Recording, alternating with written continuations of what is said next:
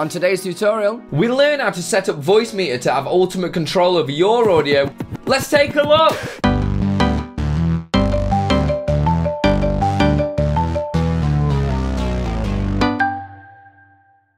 Heyo! I'm Andilippi and welcome to Streamade, the show that gives you all the best streaming tips that the pros want to keep a secret. Most importantly, there's no self-promotion. I'm here to teach, not to preach, but if you do want to know, all my info's below. Let's get on with the show. Right, so our goal in this tutorial is to set up Voicemeeter, which will allow us to have different levels in our headphones to what's playing on stream. Really useful if playing all that like stealthy games, stuff like that. You could turn up the game volume, but your music can still be heard on stream. Which, to be honest, most people enjoy listening to music rather than listening to the game audio. But first off, we want to head over to this website that I've got open here. This is vbaudio.com. This is where you're going to get all the software that you're going to need today. We're going to be downloading Voicemeeter. So if we head on over and press on Audio Apps, just here, and open up, you'll see Voicemeeter, you'll see Banana, and you'll see Potato. We actually want Potato. It's about as good as my aim, if I'm totally honest. Reason why I use Potato is it just gives you more inputs and outputs. If you look at Banana, there's less, there's only three hardware inputs, but if you go over to Potato, there's five. So it kind of just future-proofs yourself a little bit there. So I definitely do recommend that. then we also want to get the virtual audio cable, which is just here as well. All these links are going to be below, and I'll just put the download link so it makes it really quick for you to get. You can only get one cable for free, but if you do want to get more control over your stream, which I definitely highly recommend, if you press VB cable just here, you'll be able to see you can have up to four different audio cables. All this will make sense just a little bit later on, but this is actually donationware I actually paid, it was just five five dollars. I only got A and B, but I think I'm gonna get C and D as well. But like I say, they're, they're five dollars each, so if you do want to get the maximum control over your audio, you definitely want to pick them up. There we go, once you got them all downloaded, you want to do the standard install, you know, spam the next button, next, next, next, next, next, next, next, get them all installed. Make sure you do restart your computer because you run into loads of issues if you don't, just with it changing quite a lot of your raw audio. Once you got it restarted, open up Voicemeeter Potato, and you'll be greeted with a screen that looks a little bit like this. I've got mine just set up now, which is what I want you to do because you'll see here it'll have hardware input 1, 2, 3, 4 and 5. What I want you to do is just take a step back, think of all the different audio things that you've got on your stream. So for me, I've got my microphone, I've got my game audio, so from my Elgato capture card, or what I'm playing on my desktop. I've got my web browser, which I use for my music requests and everything like that. I've also got communication, which I'll probably use for Discord or whatever chat channel I'm using at that time. With a, I don't actually use a hardware input 5, so that one's empty. So once you've done that, what we need to do is go up here and you'll see A1, A2, A3, A4, A5. These are your hardware output. So I want you to select your main output. So for me, that is the Focusrite because I'm using an audio interface. Uh, I'm using um, a condenser microphone because I do a lot of music stuff. Uh, apologies for the dog barking there. Postman is here. Wonderful. But I want you to select whichever one you can use primarily. So your headphones probably. So mine, mine's Focusrite because my headphones plug into that.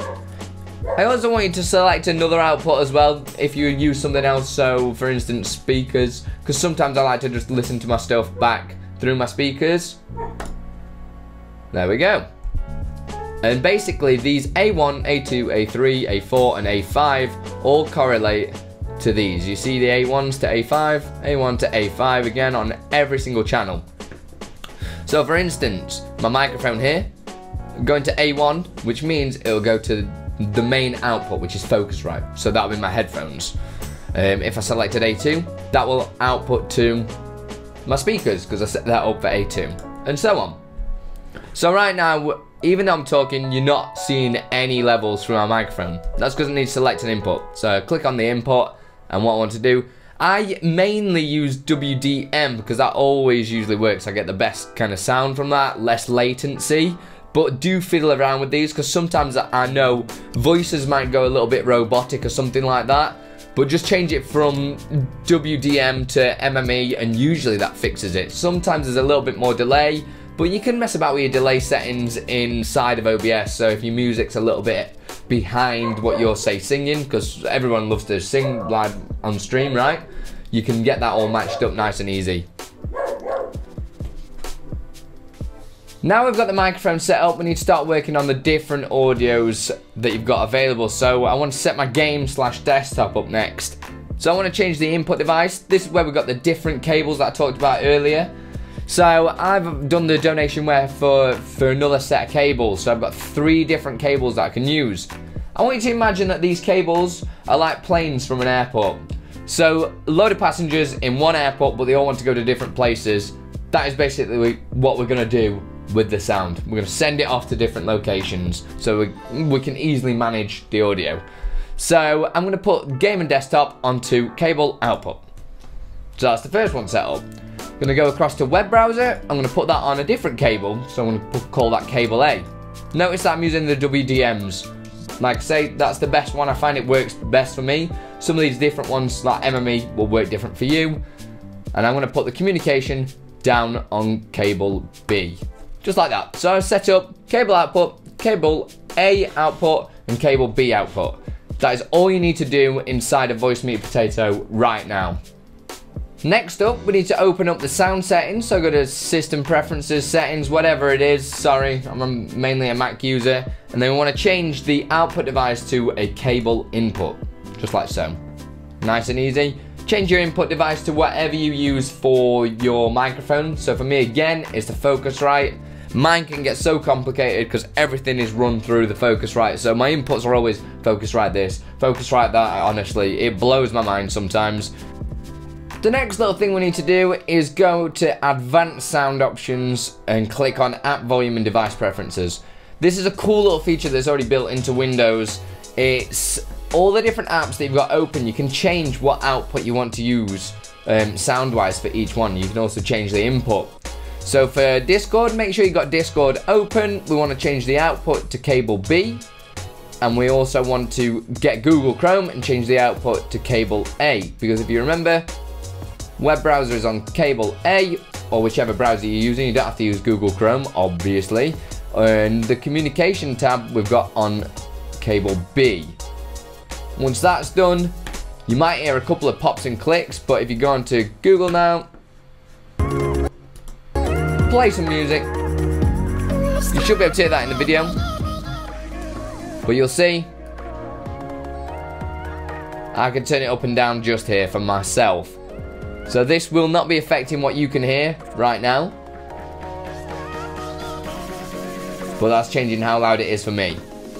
And that's exactly the same now with the communication bit inside of Discord. Just make sure you change your input to cable B. Done and it's exactly the same with the game and the desktop because we changed our default desktop audio to cable output if I start making some error noises or something like that it will come through on this channel just here Right, now we've set up voice Voicemeeter Potato, we need to actually mirror all of the settings that we've got in there into OBS as well. So first things first, jump into the file, go to settings, and just hit audio and disable everything in the devices section here. Just disable everything because we want manual control over all your audio devices. Once that's done, we want to hit the plus on whichever source that you're using. Audio input capture. Create a new, you'll have to call it microphone. I've already got the microphone just there so I can hit add and click that there. And we need to also make one for your web browser audio. So again, you'll hit plus, audio input capture, call it your web browser audio. I'm going to add mine here, Chrome audio, and it'll look something like this. You remember, we set up your web browser on cable A. So press cable A, oops, there we go, and hit OK, and that will come through just on there like so. Once more again, we're going to add audio outputs. This time we're going to do the comms audio and also the game and desktop. So same again, create a new quality comms audio, set that up onto cable B, and also final time, audio output again, And this time, call it game and desktop audio.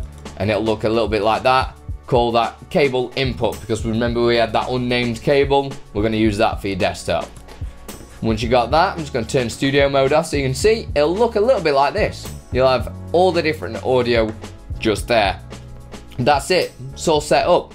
So if I play something now in Chrome, you're able to see I can control how loud you can hear that music now. Turn it right down. But that doesn't change my levels because in audio, I can change how loud I have it just there. That makes sense? If it sounds a little bit robotic like mine kinda did then, remember, just jump into your settings, change from WDM, just here, change from WDM down to MME. Just keep tinkering with that until it stops sounding a bit robotic, and then it's all done. Sound. Easy as that. So there you have it. That is exactly how to set up a Voicemeeter Potato. Dead simple to do dead easy once you kind of get your head around it. It took me a little while at first, but as soon as that's all done, it's plain sailing from there. I'm going to do a couple of other tutorials to get more advanced on top of that, so maybe make your microphone sound a little bit clearer, all that kind of stuff, but stay tuned for that. If you do want to know more about that, just hit subscribe, all that jazz. Like the video if you did. If you've got any questions, hit me up below or come on over to the Twitch stream and we can chat there. I always reply to as many comments as I can. Right, until next time, guys, put your rock for the stone. See you soon.